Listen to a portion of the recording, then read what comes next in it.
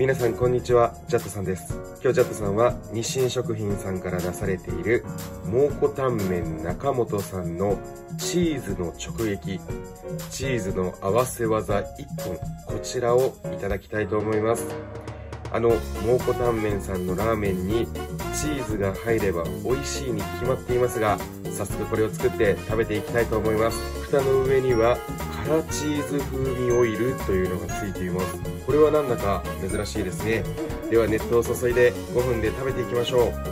それでは蒙古タンメン中本さんのチーズの直撃。こちら完成しましたのでいただきたいと思います。いただきます。中本さんは毎回勉強させられますんで今回はすすらないでいきたいと思います。こ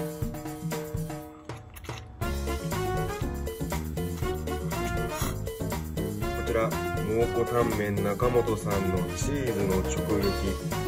もうコクうま味噌ラーメンという言葉の代名詞。それはもう間違いありません。美味しいラーメンになっています。そしてやっぱりちょっとすすろうとすると喉に刺激が来てむせてしまう。そんな辛さになっています。でも激辛ではないのでチーズの直撃は辛いのが苦手な方でも食べれる範囲の辛さになっていると思います。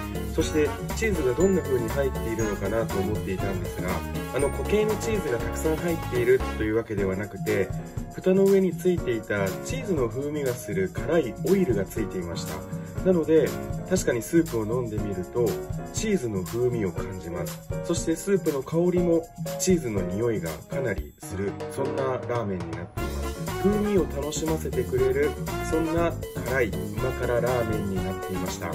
何種類かこれまでも中本さんのカップ麺食べてきましたがこれは万人に食べやすいコクうま辛味噌ラーメンところです。それでは蒙古タンメン中本さんのチーズの直撃。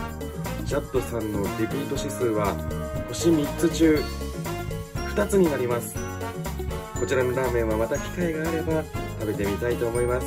是非皆さんも見つけたら食べてみてください。では次回のラーメンもお楽しみに。またね